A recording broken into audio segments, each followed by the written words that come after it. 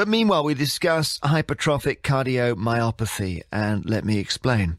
While exercising outside his home last summer, Miles Frost, the son of the late broadcaster Sir David Frost, collapsed and died aged 31. Now, Miles's death was because of that condition, a heart condition, hypertrophic cardiomyopathy, which causes heart muscles to swell and block the flow of blood to the rest of the body. Miles never knew he had it, and it was only revealed in the autopsy.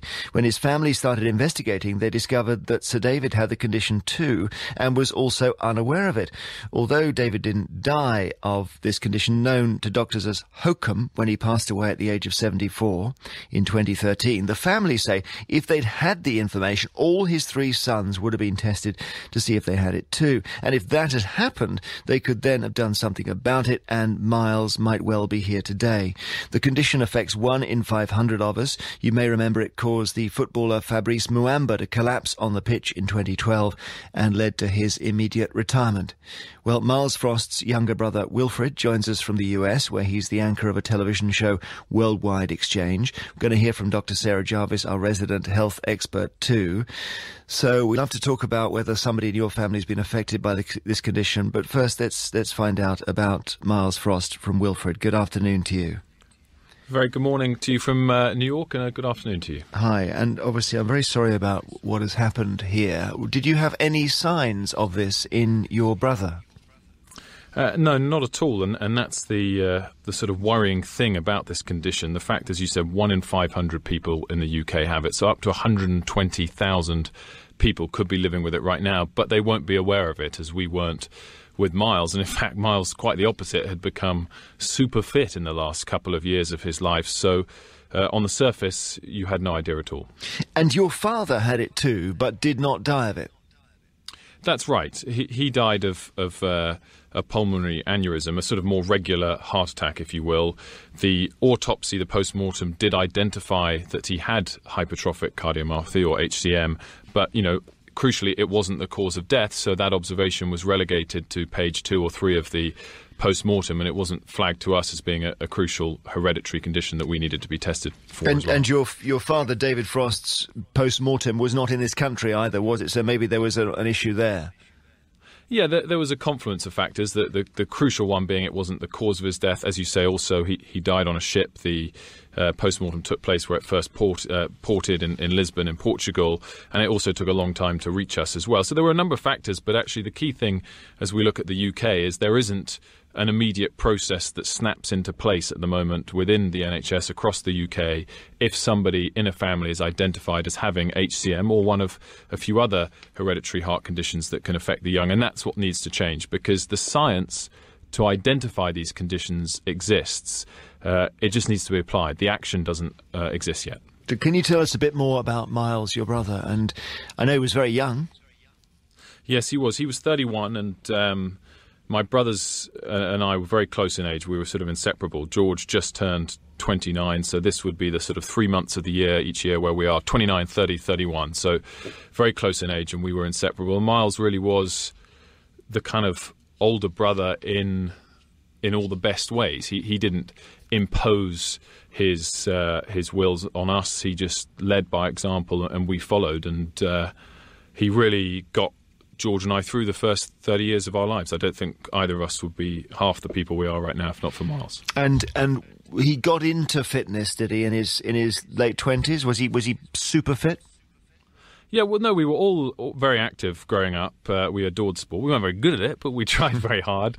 Um, and Miles just, uh, I think, picked that up a level in the last couple of years. He he did uh, a marathon. He did a half marathon in Kenya as well, and uh, yeah, th- th- we were always active, but he certainly had picked up a level and, and, started pushing himself more. And on that very morning, he he'd had pushed himself to the extreme, and that's where the risk is. You know, if if you can identify it. Uh, much like Fabrice Muamba, you, you have to change your way of life. He retired, and, and Miles, if he'd known about it, clearly wouldn't have been pushing himself to that extent anymore. But he would still crucially be around. So people who, who die from HCM tend to die when they are exerting, is that right?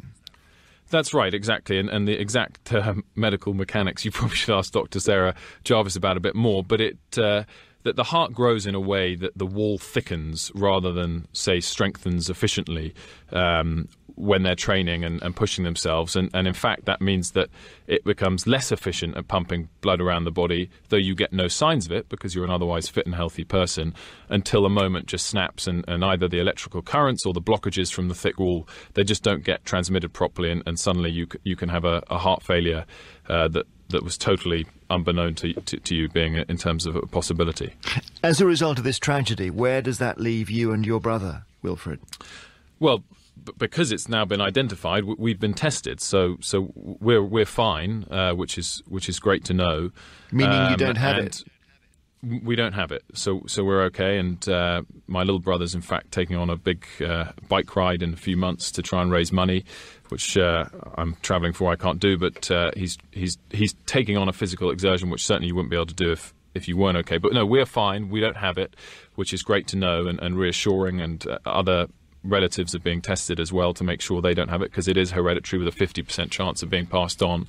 Um, you know, if you were identified as having it, there isn't a cure yet for it, but it's totally manageable depending on the, the level of uh, seriousness of, of the condition you have. You can go as far as having a defibrillator installed or taking drugs, or just if it's not too too serious, you, you would just be told not to do things like running marathons or sprinting long distance. You'd have to do, if you wanted to stay active, things like yoga instead, for example. But it's certainly very manageable. And, you know, the example of. Uh, Fabrice Muamba is, is, a great one, or, or, James Taylor, more recently, the cricketer. He had a slightly different type of cardiomyopathy. I'm sure both of them, and I don't want to speak in their place, but I'm sure both of them would much rather be aware to have to retire, albeit that's a shame, from the sport they love, but, but continue to live their lives because you know, that's a much better eventuality. Thank you very much for joining us. Wilfred Frost, brother of the late Miles Frost, uh, son of Sir David Frost, talking about hypertrophic cardiomyopathy, HCM, some doctors call it HOCM,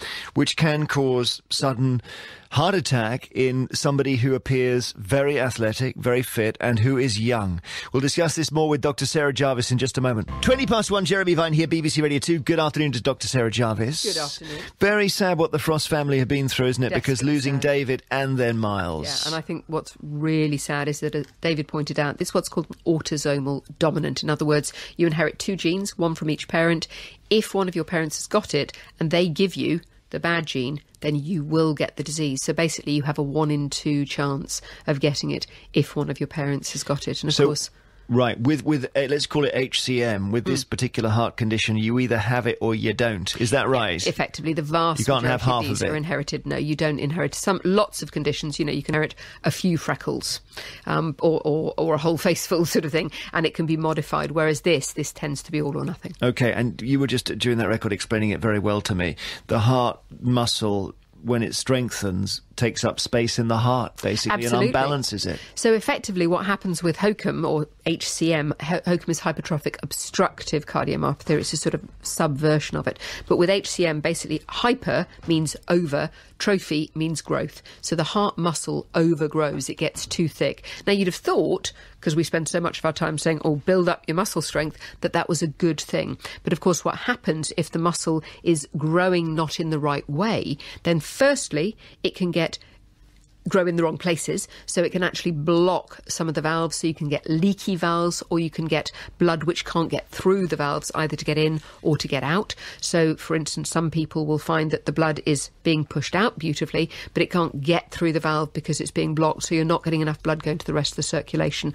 Or you can get abnormal heart rhythms. So normally this very slick machinery that is in place, incredibly clever, the way the heart rhythms or the heart electrical impulses spread over the top of the top valve, the top uh, the atria, they're called, the top chambers of the heart, and then they move down into the middle so that you can squash up from the bottom, getting all the heart out, of the blood out round the rest of the body. That just goes completely to pieces sometimes in these people. So that's when you tend to get symptoms later on. But the problem we've got is that because the muscle on the whole is contracting normally, then many people don't get any symptoms, and it is until the day like, they die. Until the day they die, wow. especially in young people. And there are some other rare syndromes, something called Brugada syndrome. There are some other rare conditions, but this is absolutely one where if I have a patient who's been diagnosed with it, it is absolutely first on my list to make sure that their first degree relatives, in other words, parents, brothers and sisters,